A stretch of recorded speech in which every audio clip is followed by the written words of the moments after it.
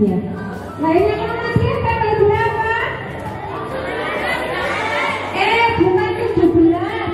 18 November 1920